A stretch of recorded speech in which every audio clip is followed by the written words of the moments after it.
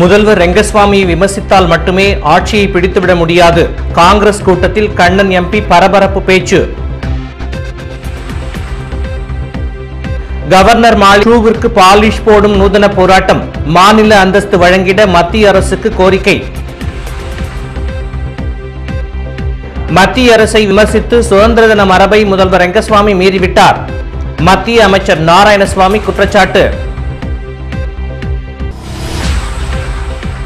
தனியார் மருத்துவக் கல்லூரியில் ஊழியர்களுக்கு வழங்கிய சம்பளத்தில் கள்ள நோட்டுகள். போலீசார் தீவிர விசாரணை. இனி விரிவான செய்திகள். முதல்வர் ரெங்கஸ்வாமியை விமர்சித்து மட்டுமே புதுச்சேரியில் காங்கிரஸ் ஆட்சியை பிடித்துவிட முடியாது என்று எம்பி கண்ணன் கூறியிருக்கிறார். காங்கிரஸ் கட்சியின் செயல் வீரர்கள் கூட்டம் காரைக்காலில் டனால் தங்கவேல் அரங்கில் நடைபெற்றது. மத்திய இணையமைச்சர் நாராயணசுவாமி கண்ணன் எம்பி எதிர்க்கட்சித் தலைவர் வைத்தியலிங்கம் காங்கிரஸ் தலைவர் ஏ வி சுப்பிரமணியன் ஆகியோர் தலைமையில் இந்த கூட்டம் நடைபெற்றது. இதில் சிறப்பு அழைப்பாளர்களாக புதுச்சேரி பொறுப்பாளர்கள் முகுல் வாஸ்னிக் சின்னாரெட்டி ஆகியோர் கலந்து கொண்டார்கள். கூட்டத்தில் பேசிய கண்ணன் எம்பி புதுச்சேரியில் காங்கிரசாரிடையே கோஷ்டி பூசல் நீங்காத வரை கட்சி வளராது என்றும் முதல்வர் ரெங்கஸ்வாமியை மட்டுமே விமர்சித்து ஆட்சியை பிடித்துவிட முடியாது என்றும் ஆவேசமாக பேசினார். ரங்கசாமியுடைய குறைகளை மட்டுமே நம்முடைய நிறையாக ஆக்கிக் கொள்ள முடியும் என்றால் அந்த நம்பிக்கையை நான் வைத்திருப்பவன் அல்ல ரங்கசாமி புராணத்தை பாடியே காங்கிரஸை நடத்தி விட முடியாது. மேடை ஏறினால் ரங்கசாமி என்னார் என்னார் என்னார் என்னார் என்கிற பேச்சுதான் காங்கிரஸ் கூட்டங்களில் ஒழிக்கிறது தவிர நாம் என்ன செய்கிறோம் என்ன செய்ய போகிறோம் நாம் எப்படி நடத்த போகிறோம் என்று எதையும் சொல்ல நாம் தயாராக இல்லை. மேலிட பொறுப்பாளர்களுக்கு முன்பாக இப்படி பேசிய கண்ணன் எம்பி இதற்காக தன் மீது கட்சி எந்த நடவடிக்கை எடுத்தாலும் கவலை இல்லை என்று கூறியது கூட்டத்தில் பரபரப்பை உண்டாக்கியது. புதுச்சேரிக்கு மாநில அந்தஸ்து வழங்க மத்திய அரசை வலியுறுத்தி பொதுமக்கள் காலனிக்கு பாலிஷ் போட்டு நூதன போராட்டம் நடத்தப்பட்டது. புதுச்சேரிக்கு தனி மாநில அந்தஸ்து வழங்க வேண்டும் என்று கடந்த பதினோரு ஆண்டுகளாக வலியுறுத்தப்பட்டு வருகிறது. மேலும் அண்மையில் நடைபெற்ற பட்ஜெட் கூட்டத்தொடரிலும் புதுச்சேரிக்கு மாநில அந்தஸ்து வழங்க வேண்டும் என்று தீர்மானம் உருவாக்கப்பட்டது. இந்நிலையில் அரியாங்குப்பம் பகுதியின் இளைஞர்கள் புதுச்சேரிக்கு தனி மாநில அந்தஸ்து வழங்க மத்திய அரசை வலியுறுத்தும் வகையில் துணைநிலை ஆளுநர் மாளிகை முன்பு பொதுமக்களின் காலணிகளுக்கு பாலிஷ் போட்டு நூதன போராட்டத்தில் ஈடுபட்டார்கள். இதனால் ஆளுநர் மாளிகை முன்பு பரபரப்பு ஏற்பட்டது. இது குறித்து கனகராஜ் என்ற இளைஞர் கூறுகையில் மாநில அரசின் கோரிக்கைகளை ஏற்று மத்திய அரசு புதுவைக்கு தனி மாநில அந்தஸ்து வழங்க வேண்டும் என்றார் அவர். மத்திய அரசை விமர்சித்து சுதந்திர தின மரபை முதல்வர் ரெங்கசுவாமி மீறிவிட்டார் என்று மத்திய இணையமைச்சர் நாராயணசுவாமி குற்றம் சாட்டியிருக்கிறார். புதுச்சேரியில் செய்தியாளர்களுக்கு பேட்டியளித்த அவர் காமன்வெல்த் மாநாட்டில் இந்தியா பங்கேற்பது குறித்து விரைவில் பிரதமர் நல்ல முடிவு எடுப்பார் என்றும் மும்பையில் நீர்மூழ்கி கப்பல் வெடித்திருப்பது குறித்து உரிய விசாரணை நடைபெற்று வருகிறது என்றும் இந்த சம்பவத்தில் இந்தியா மற்றும் ரஷ்யா ஆகிய நாடுகளின் உறவில் பாதிப்பு ஏற்படாது என்றும் கூறினார். சுதந்திர தின விழாவில் மரபிற்கு மாறாக குஜராத் முதல்வர் நரேந்திர மோடி அரசியல் பேசியிருப்பதற்கு முதல்வராக பதவி வைக்க தகுதியில்லை என்பதை காட்டுகிறது என்று கூறிய மத்திய இணையமைச்சர் நாராயணசுவாமி இதேபோன்று மரபை மீறியுள்ள புதுச்சேரி முதலமைச்சர் ரெங்கசுவாமிக்கும் கண்டனம் தெரிவிப்பதாக கூறினார். நாட்டின் பிரதமருக்கும் முதலமைச்சர்களுக்கும் நிர்வாக செயல்பாடுகளில் அவர்களுக்கு விதிமுறைகள் இருக்கின்றன. அவர் விதிமுறையை மீறி மத்திய அரசை சாடி பேசியது சுதந்திர தினத்தின் புனிதத்தன்மையை மாற்றியிருக்கிறது. இதற்கு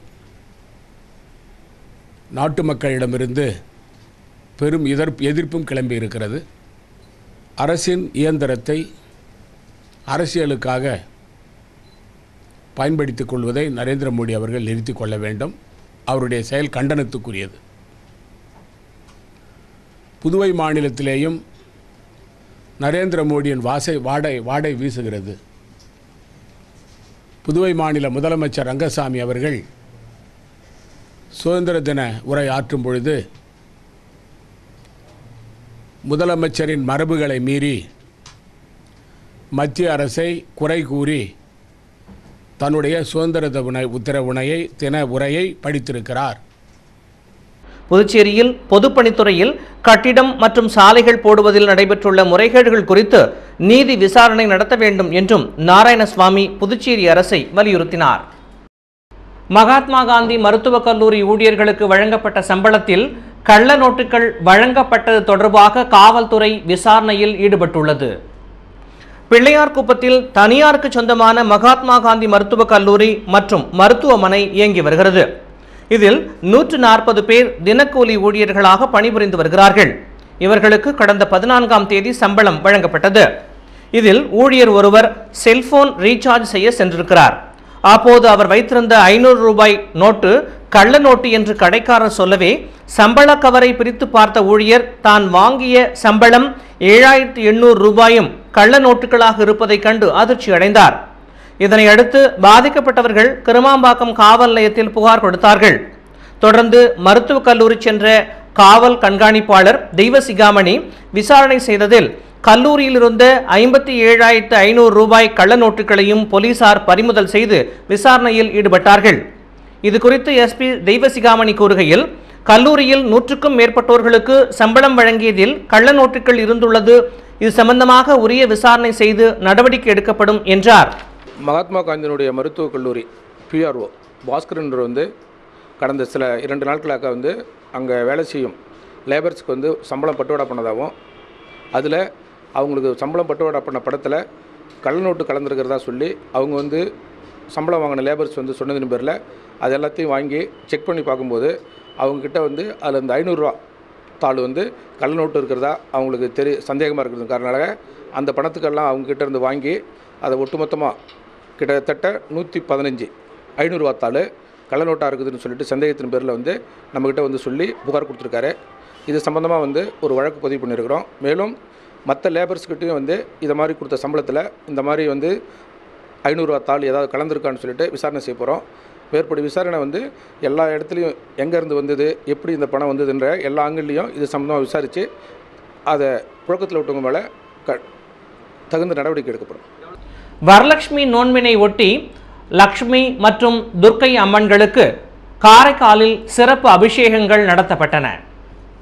காரைக்காலை அடுத்த தலத்தெரு கிராமத்தில் அமைந்துள்ள புகழ்பெற்ற ஸ்ரீ சிவகாமி அம்பாள் சமேத ஸ்ரீ சிவலோகநாத சுவாமி ஆலயத்தில் மகாலட்சுமி மற்றும் துர்க்கைக்கு வரலட்சுமி நோன்பை ஒட்டி சிறப்பு அபிஷேக ஆராதனைகள் நடைபெற்றன.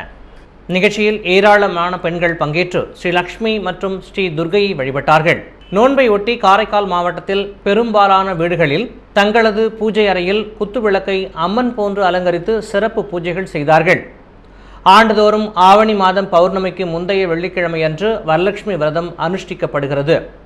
அன்று பெண்கள் விரதமிருந்து ஸ்ரீ மகாலட்சுமியை வழிபட்டு சுமங்கலிகளுக்கு தாம்பூலம் கொடுத்து உபசரித்தால் தங்களது மாங்கல்ய பலம் அதிகரிப்பதாக ஐதீகம் என பெண்கள் தெரிவிக்கிறார்கள். விமானத்தில் நடைபெற்ற ஓவியப் போட்டியில் முப்பத்தி ஒரு மாணவர்கள் பங்கு பெற்று ஓவியம் தீட்டினார்கள்.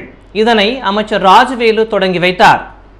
புதுவை திருவள்ளுவர் கலைக்கூடம் சார்பில் பறக்கும் விமானத்தில் ஓவியப் போட்டி நடைபெற்றது. இதனையொட்டி புதுச்சேரியிலிருந்து பெங்களூர் செல்லும் ஸ்பைஸ் ஜெட் விமானத்தில் நடைபெற்ற ஓவியப் போட்டியில் பங்கேற்ற பள்ளி மாணவர்களுக்கு எழுது பொருட்களை அமைச்சர் ராஜவேலு கொடுத்து தொடங்கி வைத்தார். இதில் பெத்திசம்னர் பள்ளியைச் சேர்ந்த முப்பத்தி ஒரு மாணவர்கள் விமானத்தில் பயணம் செய்தபடியே ஓவியம் தீட்டினர். நிகழ்ச்சிக்கான ஏற்பாடுகளை கலைக்கூட நிறுவனர் சிவகுமார் டாக்டர் மகாதேவன் உள்ளிட்டோர் செய்திருந்தார்கள்.